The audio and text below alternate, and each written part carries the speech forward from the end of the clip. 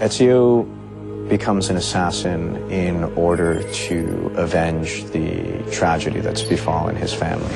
People that are very close to him are taken from him, and he's been uh, branded a traitor and a criminal. The city guards who once respected him now hunt him, and the very people that claimed uh, they would help him in his time of need have now turned against him. Right after this event happens, he finds that mercenaries, prostitutes, and thieves are not the people that he should be fearing, but actually are the most trustworthy people. What was important for me when we built the world of Assassin's Creed 2 is that you felt that you were part of one group of individuals.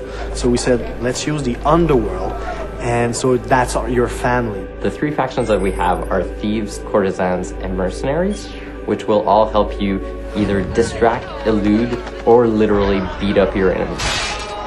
The faction leaders will be met along the path in Assassin's Creed, and they will be asking you a couple of things to help them as they're helping you. So it's sort of a mutual trade-off between the two a lot of people will end up helping Ezio. Uh, there's his uncle Mario uh, that he hasn't seen many, many years that will help him tone his fighting skills. There's Machiavelli as well that we find in the game. And uh, finally, obviously, Leonardo da Vinci, uh, who's going to become uh, quickly a very close friend of Ezio, not to mention a test dummy for his wild inventions. Leonardo is, uh, is going to be one of your main friends. And basically, he's going to act as a Q in James Bond for Assassin's Creed 2, we have the notion of crowd groups, where in Assassin's Creed 1, the crowd was a little bit individualistic, where no one would bunch up together.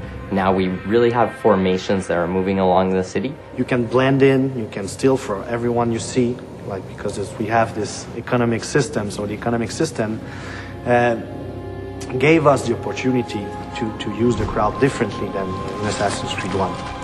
Banking came up just a few years previous to the time period that Assassin's Creed 2 is set. Some of the most prominent Italian families actually went into banking.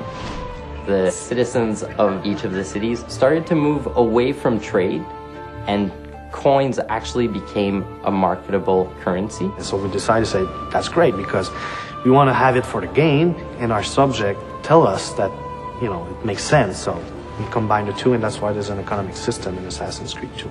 The most exciting thing about the economic system is giving the players the choice to do what they want with their money.